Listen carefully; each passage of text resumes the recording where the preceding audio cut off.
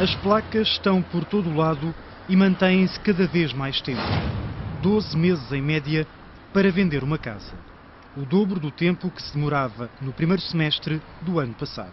Há zonas que são mais vendáveis, que são dirigidas ao mercado médio, médio alto, aí o tempo de duração poderá ser este que eu estou a dizer, mas pode haver zonas, nomeadamente as periferias das cidades, ou zonas onde não há praticamente procura nenhuma, que eu aí não poderá ser dois anos ou poderá.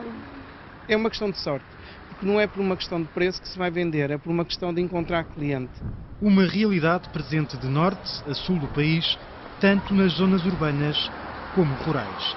A falta de crédito e a incerteza quanto ao futuro afasta compradores. Há dois anos, em cada 100 pessoas, 70 recorriam a compra e venda. Hoje em dia é precisamente o inverso. Em cada 100 pessoas, 70 recorrem ao mercado de arrendamento. E assusta quem quer vender. Emocionalmente, devido à, à, crise que nós estamos a passar e à dificuldade de muitas pessoas, fazem que muitas vezes baixem o valor do imóvel para baixo daquilo que devia ser o valor comercial do imóvel. E eu acho isso mal porque não é por causa de preço que não se vende os imóveis. Eh, pode acontecer, se baixar de tal maneira, haver uma série de especuladores que compram isso a preço saldo. Cresce o mercado de arrendamento.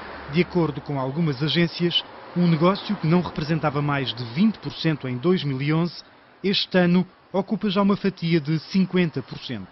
Vender é por isso quase uma missão impossível. De acordo com o setor, há particulares que acabam por desistir e retiram os imóveis do mercado.